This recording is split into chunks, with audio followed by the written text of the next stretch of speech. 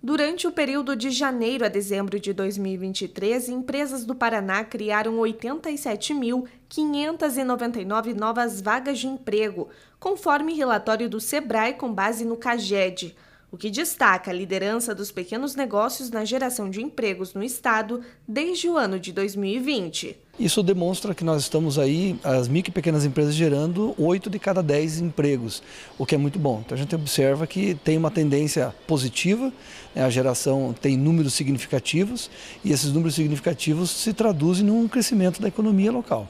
No ano passado, o setor de serviços foi o principal impulsionador de empregos para micro e pequenas empresas no Paraná, com 38.444 postos criados, seguido pelo comércio, com 15.418, e os setores de construção, indústria e transformação. O setor de serviços, surpreendentemente, vem crescendo, né? isso é muito em favor da, da pós-pandemia, porque durante a pandemia o setor de serviços cresceu e se manteve.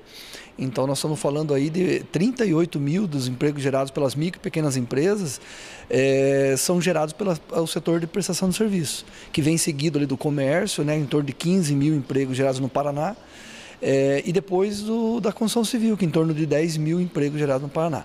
Isso demonstra, então, que a prestação de serviço que cresceu na pandemia se manteve. E isso traduz um resultado importante que a economia né, de prestação de serviço vem agregando valor aos produtos que são entregues. Entrega de, entrega de um produto é um serviço, quando você é, precisa arrumar um ar-condicionado, quando você precisa arrumar o teu é, veículo, é um serviço prestado. E todo esse tipo de serviço está é, tá gerando emprego e está aparecendo nesses números da pesquisa do levantamento. Segundo o gerente da Regional Sul do Sebrae Paraná, a previsão é de que a tendência positiva na geração de empregos se mantenha ao longo de 2024. O ano 2024 ainda reserva muitas, é, muitos cenários que a gente sabe de, de algumas incertezas de é, relações internacionais, né, movimentos que ocorrem no mundo, né, tem alguns conflitos acontecendo, que pode ser que gere alguma certa incerteza de investimento, alguma coisa nesse sentido.